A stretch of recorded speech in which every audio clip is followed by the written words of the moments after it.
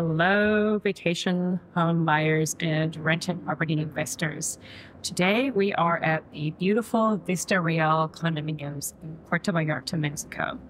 This property is set along a windy, rocky beach road on a sort of cliffside portion of the Bay of Banderas.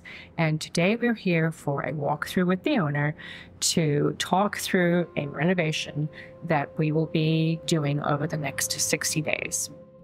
So we chose this location. It's not um, the traditional Puerto Vallarta location that most people moving from the States would pick.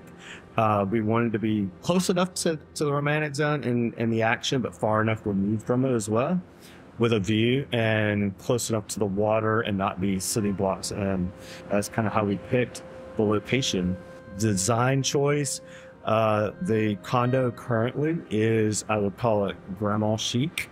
Um, it is blues, not any of them the same. Uh, and just not, I mean, it's not even traditional beach. Uh, I've had a house in Florida before, and traditional Florida beach is whites, pinks, and uh, starfish and uh, sand dollars and shells.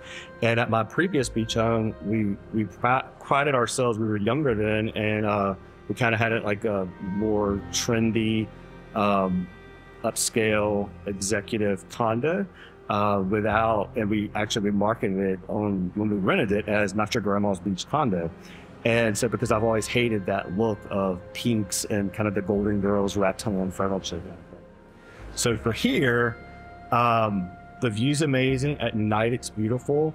But my current home, I actually wanted something darker and more dramatic.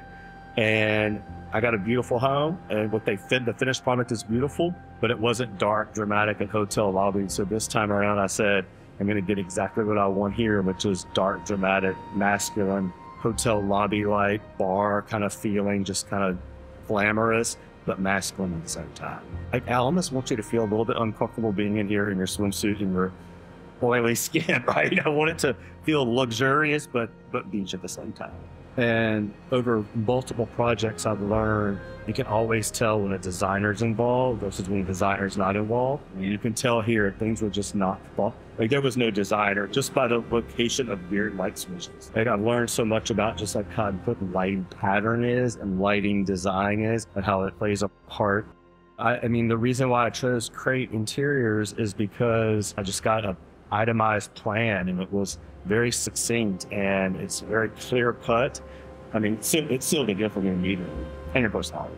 When you walked out, uh, my friends that were here were uh, like, she's the one, right? And I was like, absolutely. That's so sweet. That means a lot yeah. to me. I'm excited to see the, the, final product. I just think that seeing, sitting out there and seeing this dark, dramatic room uh-huh. is going to be incredible. Yeah, we see it too. Especially going from country blue Patchy. Patchy, yeah. yeah.